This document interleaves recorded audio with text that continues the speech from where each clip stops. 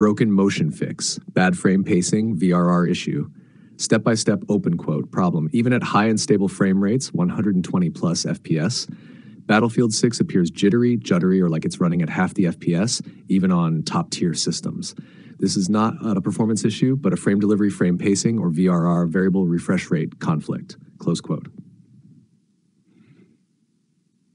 Root cause based on current beta observations, VRR G-Sync timing conflict with the game engine, bad frame pacing from the engine, possibly related to DX12 or EA anti-cheat, lack of a proper NVIDIA game-ready driver, 580.88 seems unstable, borderless mode may behave differently than full screen depending on display driver, inconsistent CPU frame times in-game, no in-game frame pacing lock or limiter calibrated for high refresh displays.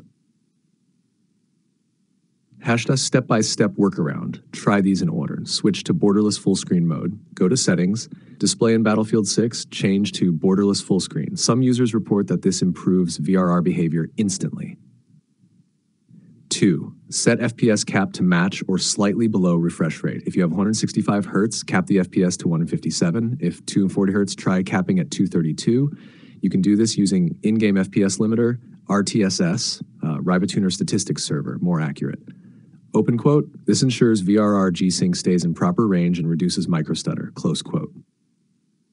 3. Turn off G-Sync VRR temporarily. Open NVIDIA control panel, display, set up G-Sync, uncheck enable G-Sync, restart your PC and try the game again. Open quote, this helps rule out G-Sync as the problem source, close quote.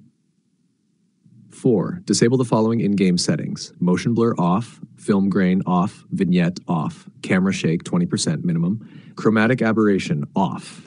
Open quote. These add artificial motion effects that can worsen perceived frame pacing issues. Close quote. Try older NVIDIA driver, optional. Roll back to driver 576.88, Battlefield 6 beta friendly. Use DDU, display driver uninstaller, to clean uninstall first. Download older driver from NVIDIA's archive, http slash slash www.nvidia.com slash download find.aspx. Please open your app to see this link are six. Enable NVIDIA Reflex ON's boost. Some users say Reflex smooth CPU frame spikes.